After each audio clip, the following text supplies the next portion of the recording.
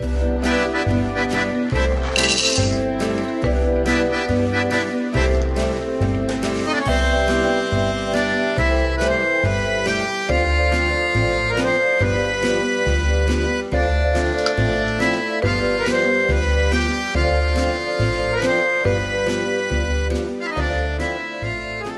folks, I'm Tom Vasel. Welcome to Board Game Breakfast, your weekly magazine show with a lot of fantastic contributors, a lot of cool stuff. Are you ready to go? I am ready. Well, I had a great couple days, I'm assuming, since I'm recording this before them, where I went to LA and recorded some with an upcoming show that we'll talk about more as time goes by. So if I saw you in LA, that was fantastic, but I'm glad to be back, glad to start another week. Dice Tower West is really getting close at this point in time. Looking forward to that. So that's kind of around the corner. That's pretty exciting. And if you missed it, if you're going to Dice Tower West, I did a video last week telling you about some of the stuff that's going to be there, and we can't wait for that. Other things in the Vine, if you were a backer of our Kickstarter, um, then our backer kit is going to be going out very soon. If you wanted to back our Kickstarter but weren't able to, uh, we'll have a link to for you to get involved with that maybe in a week or so. Uh, Dice Tower Retreat, we're going to be announcing that very, very shortly. Watch for a video about that. And Dice Tower Cruise, our dates for that are almost set in stone. So a couple things in the radar. Really looking forward to all of this. Um, and I'll also be doing a live Q&A today at 10 a.m. So I'll talk to you guys then. But for now, let's find what you might have missed on the internet this week. All right, so not a ton of different things, but a few things. First of all, uh, here's a real brief glance. Uh, take a look at Semi Co op. This is a webcomic, a weekly webcomic. This one's about Arkham Horror movie rights and things like that. I really like this comic. I met the uh, writer and illustrator, really nice folks, and uh, certainly a comic that I would subscribe to or I'd recommend it. But I thought this week's was interesting. Mike Elliott uh, did an Ask Me Anything on Reddit. Ask Me Anythings are always useful, and you can find out good information about them. Uh, the Terror Below, his game on Kickstarter, of course, blowing things up, uh, and so also he's designed many other games like Thunderstone Quest. No pun included. They announced their game of the year, which was now boarding. I actually thought is it a joke? So I went to watch the review, and they really were enamored with this game. Now, on one hand, I completely disagree with them. Um, but, I mean, because I like the game, but to me, nowhere near Game of the Year material. However, I think it's fantastic that such things happen. I like when someone picks a game and they like it and then they don't care what other folks think. That's that's great. And secondly, I think it's great that our hobby has all these different little games that people can pick and say these are fantastic games. So that's cool. Uh, someone started a thread on Board Game Geek about Vasel's Law versus Quinn's policy versus Rodney's rule. Um, Vasel's Law, well, I'll talk about that a little bit later on in the Tom Thinks, but if you want to go see the differences between those, uh, that's there. If you want to see high resolution pictures of oldest, older Finnish games, they're on the internet. So I have a link for that in the description. Uh, you can click that and go see. You want to see these older games and look at some nice close up pictures of them. That's kind of a neat thing. You're like looking at history from time gone by. And finally, John Purkis did a video called Board Games Are Not Just for Geeks Anymore. I thought this was a very impressive video. This is the sort of thing I like. I'm a theater guy anyway, and he Broadwayed this up, had special guests. It's a really well done production. I found it very amusing and, you know, just very high praise I have for this. Anyway, those are the things I found on the internet. Of course, links for all of them in the description below. If you find something interesting and think I should include in this, email me at tom at dicetower.com. What's up, everyone? It's Danny, and welcome to Tabletop Twitter Talk, a segment where I cover some conversations happening between our community of board game and tabletop gamers on Twitter. For this week's poll, I wanted to know about your shelf of shame, aka how many games do you own that you have not played? The four categories I included were zero games, one to four games, five to nine games, or 10 plus games. 619 people answered, and almost 50% said they had 10 plus games that they hadn't played. At 29%, there were 1 to 4 games. At 15%, there were 5 to 9 games. And in the minority, 8% of people had 0 games that they have owned but not played. Let's see some replies from our Twitter community. For Fiona, she didn't even need to count. The feeling in her heart lets her know it's way more than 10. And same goes for Chris Anderson. He was worried that he was going to have to look through his list to get an accurate count, but he's pretty sure that 100 is 10 plus, so that's a safe guess for him. And for Emily, she sees it more as a shelf of opportunity, even if she has too many games on there. And she's looking forward to play Teotihuacan, Coimbra, and Rising Sun. Awesome picks, Emily. Daniel Newman looked at it in a different light, saying that he tracks his in percentages, so if he's below 10% unplayed, he's generally happy. For Kimberly, a lot of her unplayed games are ones that she didn't purchase herself, but she's still trying to make her way through them. And Brad is just down to a couple after a purge, and he's finally playing Abyss. He's also looking forward to play Lewis and Clark. And lastly, Christian Kang from Take Your Chits is just confused on why the word shelf isn't pluralized. So how about you? Are you in the minority that plays all the games that you purchase before you get new ones? Or are you someone that has a lot of games on your shelf of shame or shelf of opportunity? Leave a comment below or reach out to me on Twitter. Remember, I put a poll out every week, so feel free to join the conversation with our amazing board gaming and tabletop community. Thanks for tuning in to Tabletop Twitter Talk. I'll see you guys next week. Hi everyone, I'm Doug Jr. And I'm Doug the Third. and we're from Doug and Doug Gaming, and you're watching a Fellowship of Meeples. Well, Doug, do you remember what we talked about two weeks ago? No, I don't. of course you don't. Well, actually, a couple of episodes ago, we did talk about locations to host your gaming group, different places yes. that you could play. And I even asked uh, before we did that episode, I asked online uh, what are some of the places that people play. Yeah. just to get some ideas. And of course, the, I think the most popular answer was the friendly local game store for those that have one available. That Yeah. uh, seems to work out the best. But another popular answer was the public library. Okay. Now, I had some questions about that because I guess I'm a little old school. When I think of the library, I think of the old lady behind the counter going, shh, you know, you can't talk, can't make too much noise. And um, so I thought, you know, I should contact somebody that's an expert in this. Okay. And there's actually somebody here at the Dice Tower Okay. that is an expert on libraries, and that is our own board game librarian, Jen Bartlett. Ah. And I've never met her, never spoke to her, but I contacted her and she responded back, and we decided to kind of combine our segments today. And so I just asked her, I said, okay, so tell me what's the deal? How, how would you do gaming at a library? So we're going to show you the segment with Jen Bartlett, the board game librarian. Hey there, everyone. It's Jen, the board game librarian, flipping some pages, literally, and pushing some cubes.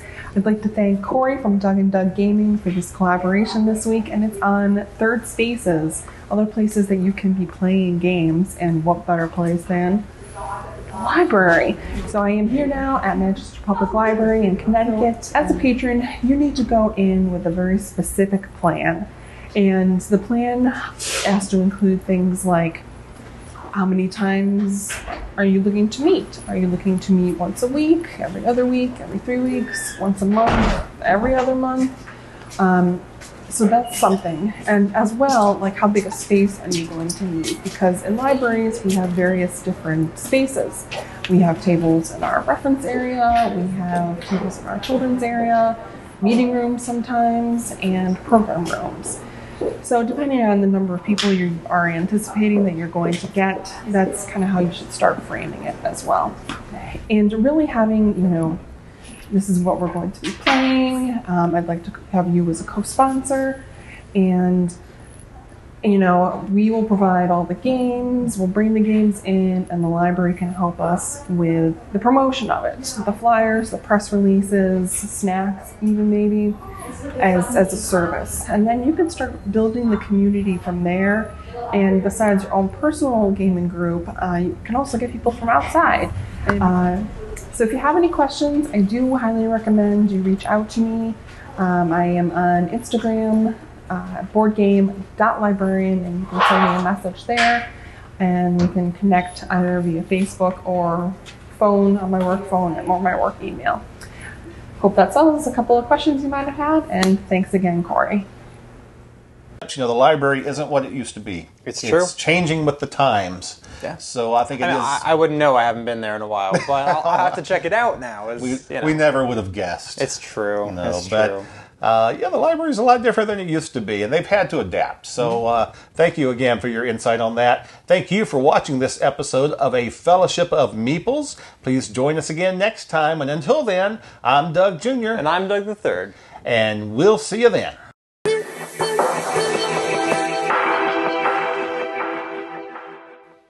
Hey everyone, welcome to another Broken Meeple approved on this board game breakfast show. Today I'm looking at Scythe, the digital edition. I like bears. You can tailor if you want the tracks on or off. Personally, I like to see them there because it's easier to keep track of those than it is to click on this twice to see the various stats in, in the different markers and that. You can move the camera exactly how you feel like, really, so you can move it across or you can use the mouse wheel to zoom in and out. And this is before I've even put free camera angle on. The animations are fairly fluid and you can easily see what's going on, although it can get a little bit slow if you're playing with a lot of players. The interface is actually pretty easy to follow and in a logical sequence. Here I need to build a structure, so I just select 1, 2, 3 wood. It then zooms in to ask me which building I want, and when I click on it, it'll ask me where I want it to go. Very straightforward, very easy to follow. When you put fast forward animations on, it really does go fast. Check this out.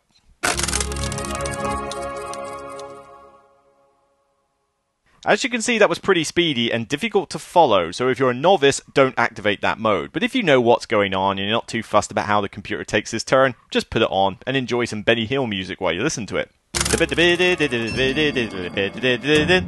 Graphically, the game is a bit hit and miss. The board itself looks great. It looks like the original, even with the tracks on it. It's all nice and clean and colourful. Loading up mechs is nice and easy. You get this little bar at the bottom there when you click on a mech, and it allows you to do everything from load in the various meeples and even the resources. Oh, is my bear hungry? Look at this nice bread. Yes, all bears eat bread. What? Fussy eater.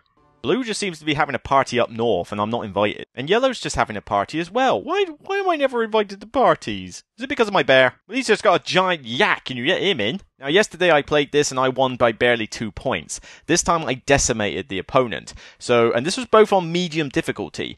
Don't play this on easy, it's too easy. Medium is alright though. Hard is a decent enough challenge, but if you really don't want to win all the time, then I say just stick it on hard like most people do all in all, this is a really solid port for Scythe. You know, the game is still there. All the stuff is.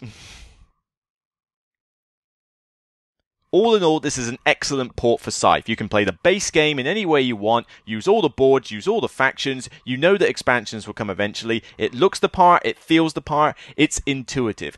Granted, a couple of graphical upgrades couldn't hurt here or there, but otherwise, this is a fine port and definitely worth it if you're a huge fan of Scythe like I am. So, that's it from me. I'll see you on the next Broken Meeple approved, and for now, enjoy your breakfast, and remember, it's only a game. Take care, guys.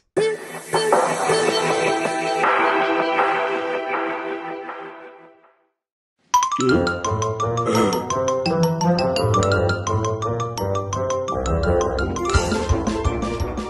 What's coming from the Dice Tower this week? Well, Dice Tower Dive, uh, where we go back and take a look at something from years gone by. This time, we're taking a look at the Ticket to Ride series. Uh, also, like I mentioned earlier, I'll be doing a live Q and A today. Um, we're gonna. I'll be reviewing several games this week, including Res Arcana and Kapow. That's an interesting one. And of course, Madara. That's the big one. I think everyone's interested in. We'll be doing our live Tuesday testing on Tuesday, but also we'll be uh, playing through later on this week Volleyball High and Silver River. Both of these games coming to Kickstarter.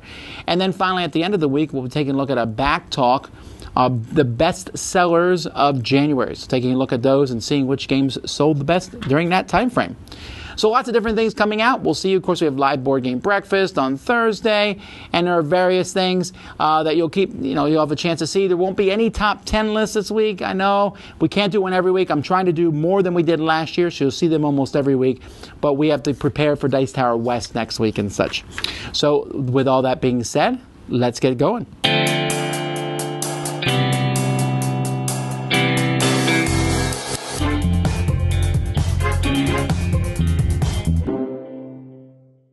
Hi, Mike Delisio from Solo Mode Games. I think I've mentioned before that my career is one of a high school teacher. But I don't know if I have mentioned that I'm also somebody that, on a very part time basis, works at the friendly local game store. I had been a customer there for years, and when the opportunity arose to work a couple of days a month, I grabbed that opportunity because I love the hobby and it's a great excuse to kind of be around people that are interested in something similar than I am and maybe a chance to get new people into this hobby that I love so much. But I've gotten some different insights while working in board gaming retail that I wanted to kind of talk about. One of them is I've noticed that there is maybe, perhaps, an assumption that a retail game is lesser than, not as good as, a Kickstarter version of a game.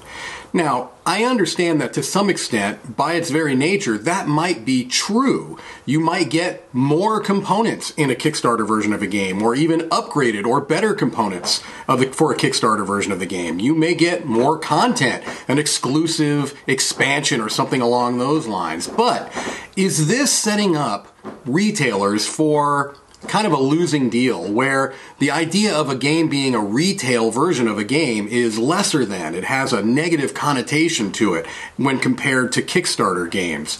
I'd love to hear the thoughts of the Dice Tower listeners. Do you feel that retail games inherently have less value than a Kickstarter game because maybe you're not getting those extra components or blinged out components?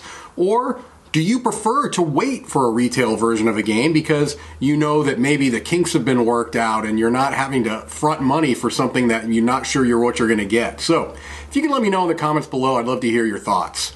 Thanks so much for your time and have a great day.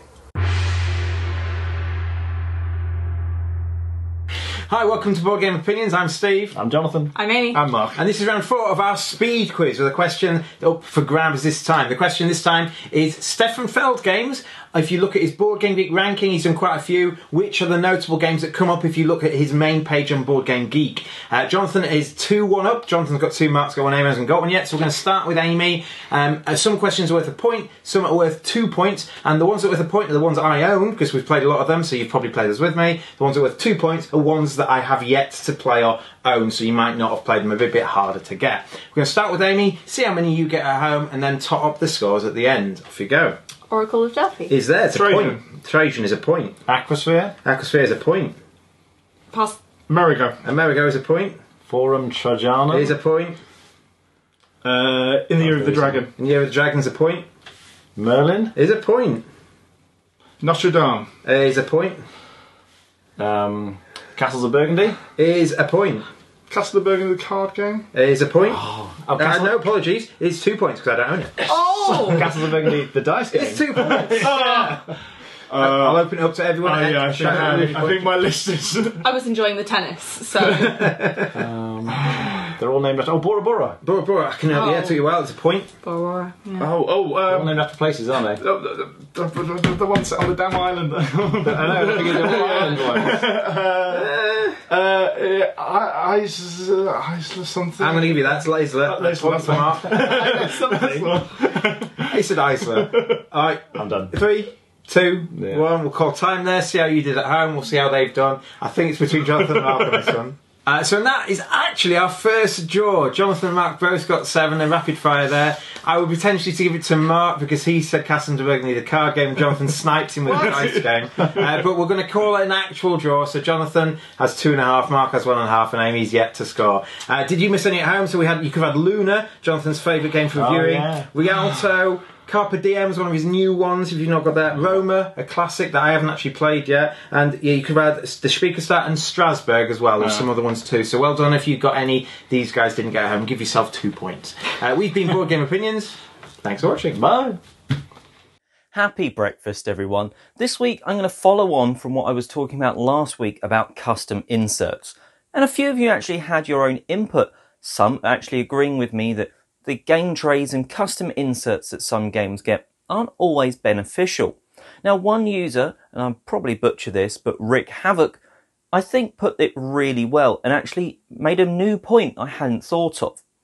So they said that they have an issue with custom inserts because they don't always allow for sleeved cards. Now that's not something I normally do. That can stop custom inserts being helpful. And I know some people will just ditch normal inserts because of it. Their next point was something I had forgotten, but it's 100% something I agree with. Take Rising Sun as an example. You have trays of figures. You pull them out and they're all gloriously laid out. right? I've taken them out, we've played a game, and I go to put them back, and where do I, was it the red race that goes here? Was it the orange or the green? And ah, that kind of fits there, and hopefully games seem to be getting better at this. They seem to be, if they've got some kind of a custom insert, they'll have something in the rules or a special sheet that says, this is where this goes, this is where this goes.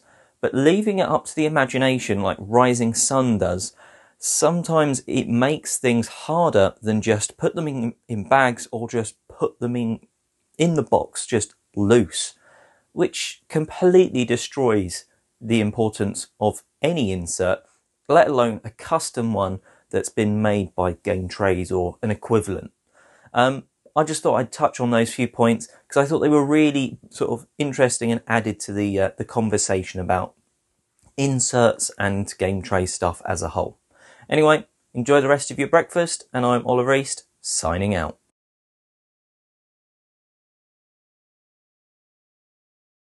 Okay, so what is getting added to the library this week?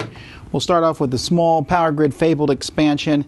I don't know how often people will play this, but I'll stick it in Power Grid. It's very small, easy to add. Then we have Villagers, this game, along with some of the Kickstarter stuff. Uh, fits in here very nicely, and so this one will look good. Uh, Elysium. I knew this was a fun game that a lot of people like, so wanted to get this one into the library. I don't really care for this game. Stephenson's Rocket, but I know a lot of people do. So that's in the library, as well as uh, the one of the expansion maps inside it. Here's a silly game, but fun. Crossfire.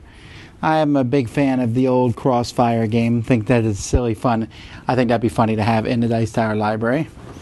Uh, then we have the Feast for Odin expansion, which unfortunately I can't fit into the box Feast for Odin box itself, so they're going to have to go separately. Uh, then we have Kamisado, which is getting added to the library. Uh, again, one I thought was okay, but I think a lot of people would like it, and it certainly is pretty. The Brigade is going to go into the library. Uh, not quite so fast because I want to mess with the expansion stuff, but it's going into the library. Dice Throne, easy pick here. Dice Throne Season 2. Uh, I'm going to get Season 1 to go along with it. Lanterns, this game was not in our library, surprisingly, but should be because it's a very, very popular one. I hate diplomacy. Like, I hate it.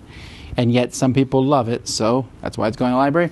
And then here's another fun one, kind of crossfire style, and that is Puck It, it's called. Uh, this game in which you pull these back, shoot these discs to the middle. A lot of fun. So, this is what's going into the Dice Tower library this week. Hi, folks. My name is Andy, and welcome to Potable Gaming, the show about games that are fun to play in pubs and cafes. I'm here to talk to you today about a fun little game called Pocket Ops. Now, we've all played Noughts and Crosses in England, or Tic Tac Toe for my American brethren, and that's kind of what this game is. But don't run away, don't let that fool you. It's a lot more tactical than it seems. So, you start with the standard 3x3 9 space grid, and your aim is to get three pieces in a row. Simple. However, on your turn, what you're going to do when it's your turn to place is choose one of these cards, each one relating to one of those spaces. Once you've played one of those cards, your opponent will have a think, see what they think you're going to do, and play one of their own. When you reveal those cards, so here I've placed H, my opponent has placed G. What happens now, because my opponent didn't guess where I was going, I can place my piece. So I'll place it on that H square. If they had guessed correctly, they'd be able to block me. And that's very fun. I love hidden movement and hidden mechanics. And what makes this more interesting is that you've got these specialist pieces here. So at the beginning of the game, you'll draft two of those. Once you've got those two, they will do different things when they're placed. They may replace one of your pieces with another piece. They may eliminate one of your opponent's pieces. They may slide a piece across. It gives you so much more depth to what could be going on, and you don't know if your opponent's going to play one of those specialist pieces or if they're going to play a normal piece. You know if you should waste your specials getting a more interesting play or if you should just do what you think you need to do. And the game continues. So once you've got your three in a row, you get a diamond. Once you've got your second three in a row, you gain the Doomsday Machine and you win. This is brilliant. I think it's a lot of fun. I love hidden movement. I didn't realize how much I loved it until I started playing games with it. And it is small. Like this box is tiny. These pieces are nice and hard wearing. These cards are adorably small. And you can fit this on a very small table. We've played this on small tables and it fits in a pocket. And I'd highly recommend it. Pocket Ops. Anyway, thanks for listening, and it's your round. They feel very like real life. Stop. Start over.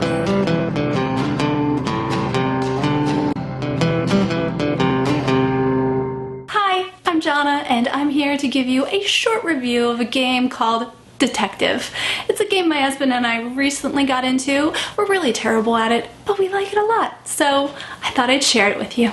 So, in this game, you are a detective. You can play solo or with up to five people.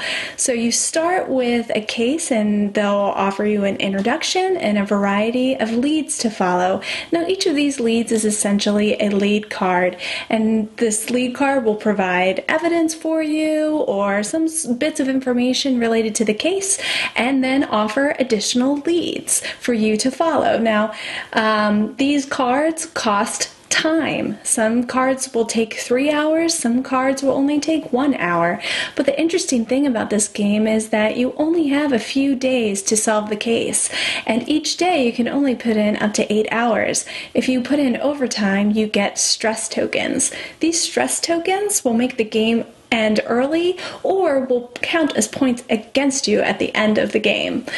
When you come to the end of the game and you're ready to answer all the questions, uh, you'll use the computer and the game app and it will prompt you with questions and hopefully you'll be able to answer all of them. If you can, you'll get a really high score and be an expert detective. If not, you might be more like us and just be a really lousy detective, but it's still super fun.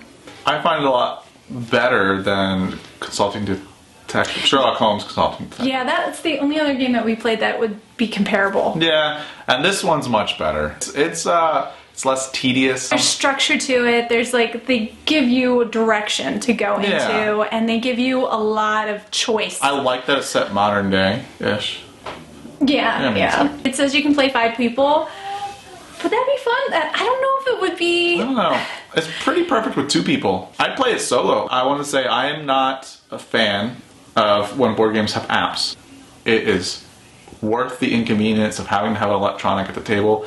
The database that you use is is a top notch and original idea. It really helps bring the immersion together. It's good. cool that it's actual locations. Yeah. That, that they're Set in the they're they're in they're on Google Maps and they often pull in like historical figures. Good job, Portal Games. Yeah. Thanks, Daniel, for Magic. doing this uh, video with me. Uh, you're welcome. It's tolerable. I know, I know you don't like to, but I appreciate it. He, he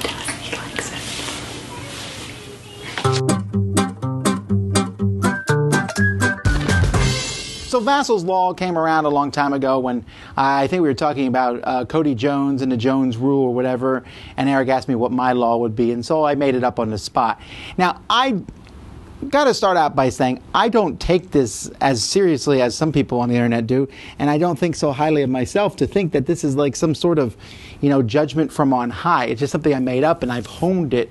But Vasel's Law basically says the very short version is if a game is truly great, it will eventually get reprinted. Uh, and of course, then of course, that's wiggle room galore, right? But what I mean by that a little bit more clearly is if a game is really truly a great game that deserves to be in print has a demand for that people want it you know there's a lot of obvious well great i mean everyone's very subjective of course but if a game is thought great by many people it will eventually be reprinted now, this is pretty much almost always the case. There are some notable exceptions, and they almost always include intellectual property, where, for example, Star Wars Queen's Gambit, a great game, could not be reprinted. But at the same time, even when that happens, those games usually come into effect some other ways. For example, Star Wars Risk from Hasbro was took some ideas from the Star Wars Queen's Gambit, or Chaos in the Old World. Some of the ideas from that uh, came out in other games. Now, so IP is the biggest offender that stops this. But there was a board game geek list on the internet that were like exceptions to Vasel's Law, and a good chunk of those exceptions have been reprinted or have been announced to be reprinted. Now, what does this matter, right? Why, do, why did I even talk about this? It actually matters less today than it did it used to.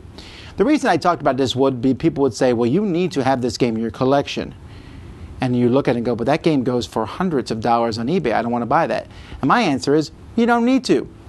In fact, I don't think anyone needs to go back and play all these classic games. First of all, for each successive generation, that's going to become a more and more impossible task. There's no way you can go back and play all the older games. When it was the year 2000, you could play pretty much every big game that had ever come out and you could and you'd be fine. At this point, that's not really possible unless you're doing it full time or retired and have a great people who are going to go with you, you know, a group and they're like, "Hey, yeah, we'll do this." But for the most part, you can't play all those older games. And so my quote unquote law is basically there to say, hey, don't worry about it. Don't worry about this fear of missing out. Don't worry about a game that came out in Kickstarter and now is gone. Because if it really was that great of a game, it will be reprinted. They'll do another Kickstarter or eventually a new hot game will come and replace it and you'll be able to get a copy of the original one for a cheap price. It's just, there's very few games that are out there where you look around and go, you can't get a copy of this anywhere. And it's fantastic. Now, if you really, really want an out of print game and you have the disposable income, pff, who am I to tell you what to do with your money? Buy it. I don't care. And I, again, that's the whole point of this is it's not meant to be any sort of judgment from on high. I made this or I said this statement as a way to help people who sometimes were being browbeaten by others to say, "Hey, you should have these games in your collection. Why not?" And or to help people who struggle with this fear of missing out as these Kickstarters come out, it's like, "Get it now or never get it." Well, that's actually proven to be mostly false. If a game comes out and it's really that popular, like Gloomhaven, then there's a second printing or Seventh Continent, there was a second printing. Now, there's still times where they'll say, we're not going to print this again, but for the most part, if you really want a game, you'll be able to eventually get it. And there are thousands of other games out there.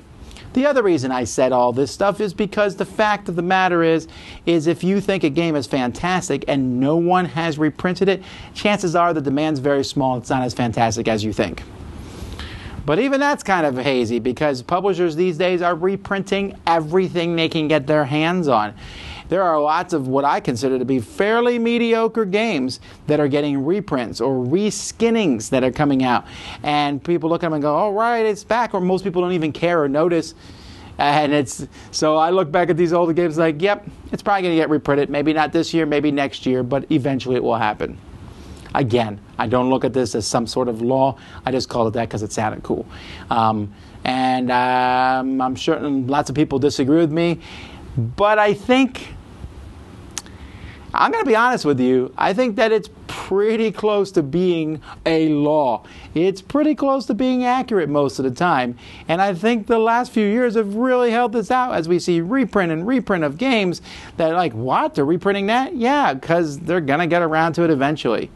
And a lot of these reprints are nicer than the original versions. So, eh, be that as it may, maybe Rodney's Rule or Quinn's, uh, what was that called? Quinn's Corollary? I don't remember what it was. Uh, you know, everyone has these different things. It's fun, but the good news is this there's always some fantastic games that you can get and play right now. What's up, Internet? My name is Michael Cook. This is Board Game Evangelism, and we're here to spread the good news of face to face fun.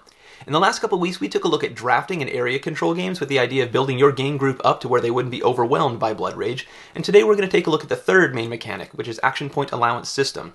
So the first one that comes to mind for me is going to be the Pandemic and Forbidden games. Any Pandemic, Forbidden, Island, Sky, Desert, those all have a certain number of actions that each player can take on their turn. You can choose between a couple different options, and you're trying to work towards a specific goal. So that I think is a great beginning point, a stepping stone into action point allowance system. It's something that's very accessible, simple to grasp with a little bit of just variability and choices. Kind of a next step is going to be, in my opinion, uh, Dead of Winter.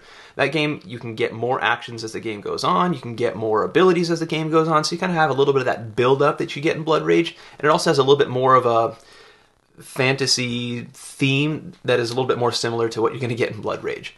I think another great option is going to be pretty much any worker placement game, because most any worker placement game is essentially an action point allowance game. You can have a certain number of workers, which represent the number of actions that you're going to be taking, and you can place them in all kinds of different places to get different uh, different actions building towards a specific goal. So I think any worker placement game is going to be a great option as well.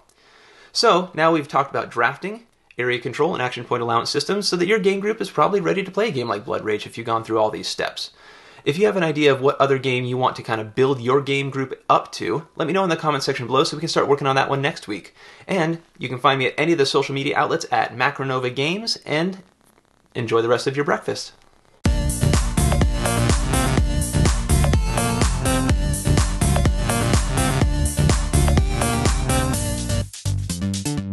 It's Roy Canday, and this is Printed Pieces. And today we're going to talk about the quality that your 3D printer can create. So, the quality of 3D printing is really mostly all about time. How much time do you want it to take for your stuff to print out? There's a thing that you can adjust in your slicer called layer height, and if you change it to a much lower layer height, you'll get a lot better quality print, but it'll make the time go up that it takes to print. So layer height basically chooses how thick the layers are that it's building. It can build tiny little layers, which will give you a lot more detail and make it have a lot less of those lines you see on a lot of 3D printings, or you can have it do it faster and you'll be able to have more noticeable lines, but you'll get the prints done way quicker and you can go on to printing the next thing. It's all about choosing how fast you want to print things, how much like infill and different things you want to do can change the time drastically, but it's crazy the quality you can get out of a 3D printer. I got the Ender 3 thinking that, oh, it'd be a lot of fun to um, just mess around with and be able to print out some things. Maybe I'll use it for some like prototype stuff. And then when I actually got it and actually started printing things out, I was actually amazed at the quality you can get. So like, I'll show you a couple pictures of these dragons that I printed out. Um, these are from a Kickstarter called the Lost Dragons from 3D Printed Tabletop. It's actually one of the main reasons that I got into 3D printing in general. So definitely make sure to check his stuff out. He has all sorts of amazing tips, but the, the quality that you can get out of a 3D printer is almost on par with a lot of other board game miniatures that you'd see in games. Um, it's not exactly 100%, um, but if you put it on the table in front of you and set it out, and especially if you end up painting it up, like it can look ridiculous. And it's amazing what you can do out of just like a thin wire of plastic going through a 3D printer and printing it out if you have a really good STL file. And you can always just change your quality settings and make a lot of your prints just look a lot better if you're willing to take the time to make it happen. Well, thanks so much for joining me on Printed Pieces. I hope you've enjoyed this segment. Let me know in the comments down below what you've been 3D printing if you have a 3D printer or what you'd love to see 3D printed. So on the next printed pieces, I'll see you then. Hi folks, this is Jonathan for Harsh Opinion and today we're going to talk about lock-in games. Do you like having lock inside games and if so, at one point, at which point does lock it's too much for you? For my part, I don't like lock-in games. I I prefer winning a game because I played better than my opponents. I don't I, I don't I don't like winning a game because I was luckier.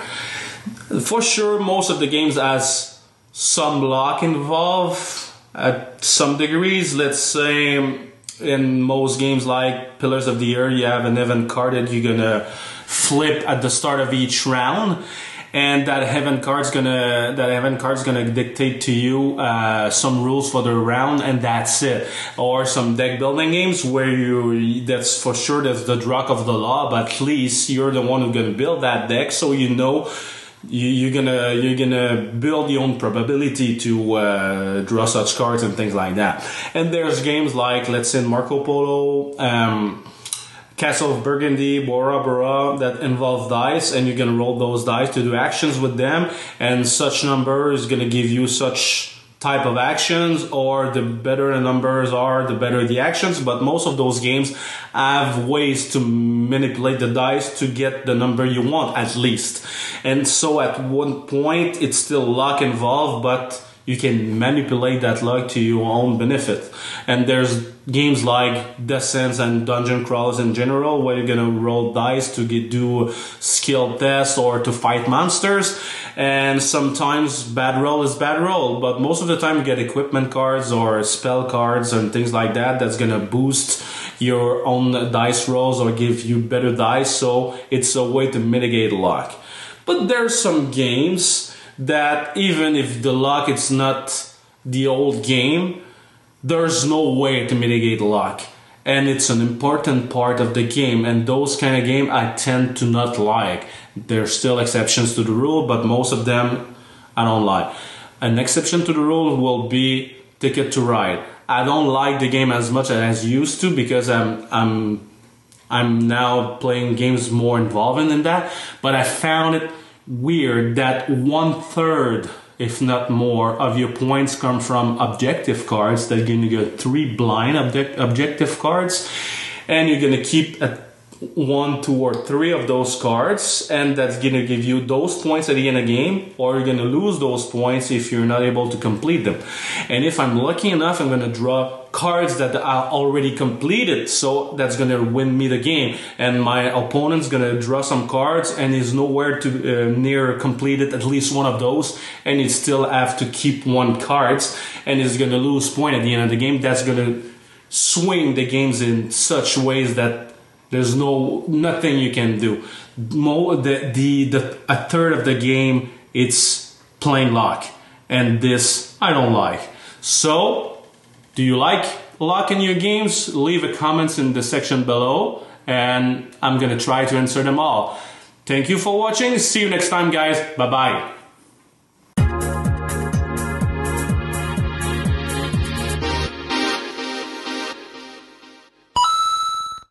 Hey guys, welcome back. This is Nick for your Mental Health Minute. It's getting cold outside. Yeah, there's a lot of snow out there, especially for us East Coasters who are really dealing with that. And some of us might have what's called seasonal affectiveness disorder, which is a time that during the winter and the fall, when it starts getting darker earlier, we start getting more sad or more depressed, if you have such a thing, because there's less light. There's less light, there's less going on. So I find that board games is a perfect way to combat such a feeling. If you're feeling something of this nature, my suggestion for you to be play a co-op game. Play a co-op game with some people and really try to bring your spirits up. More people the better. Play games like The Resistance, Avalon, things of that nature, or even something as far as Mechs vs. Minions, or something of that nature just to get your spirits up. And the best way to do this would be start playing the game when it's light out around 3 o'clock. And then it's going into darkness. That way, you don't see or pay attention to the inevitable lowering of the temperature and the inevitable light going down. You're too engaged in the experience you're having. And that way, you get a little bit more distracted and it's a little less difficult for you. Um, and then it's a nice, easy transition in from the light to the dark, and you can move on with the rest of the night. And it's not so sudden and coming down on you, it's not as Im- impactful. Everyone has a game that makes them happy. Everyone has a game that they really enjoy playing with others that bring up their smile and less their competitive spirit. What's your game that makes you really happy and can bring you from a down mood back to an up mood? Let me know in the comments below. I would love to hear it. Once again, this is Nick, and this is your Mental Health Minute. Follow me on Twitter for updates, and do enjoy your breakfast. Welcome to the Tantrum House After Party. We just played Cryptid from Osprey Games. We'll talk about what we loved, what we hated, who won, and how.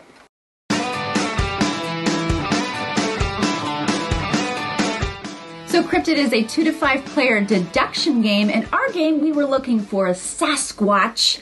Uh, Melissa, what did you like about the game? Well, I do love deduction and trying to figure out what the other player's clues are because I know a little piece of the information, but not everything. So kind of figuring out based on where players are putting their cubes and their discs what I think their clue might be. I like the word cryptozoologist. I mean, this is a pretty cool word. Uh, cryptid. I love the box cover. But I will say one thing I didn't like as much is the inside. Um, the the artwork is just okay for me. Um, there's just cubes and and just the circles and the and things like that. I think it works very well for the game, and I think probably I don't know how I would increase it. So I mean, there's that. While I did like the deduction aspect of it, I felt it lent heavily into my analysis paralysis. Okay. I just felt rushed because I, I couldn't like lay out what I needed to deduce in my mind, and then there wasn't enough cubes.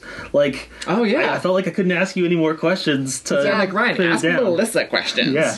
Yeah, I was down to my last cube. I used it, but then before it got back to my turn, I got enough information from everyone else that I was able to find Sasquatch, uh, even though I had run out of cubes. Yeah, they, people are comparing this maybe a little bit to Treasure Island, um, another deduction type game that's pretty new. So in the comments below, tell us which one you liked, Treasure Island or Cryptid uh, from Osprey, Osprey Games.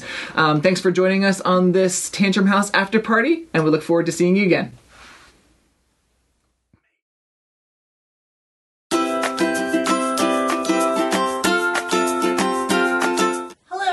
My name's Annette, and you may know me as Netters Plays. And today on Applied Mechanics, I'm going to go over the game of Tudor. So this is a worker placement along with a set collection game. However, this also has an odd component, which are these hand shields. So let me show you a little bit about this game and why I really like it. Players will want to go into any one of these three chambers. They will do so by placing a courtier outside of it on a chair waiting to be seated. In the second phase, players will then place their courtiers inside the chambers by placing them in the upper left part of the chamber room on these specific chairs.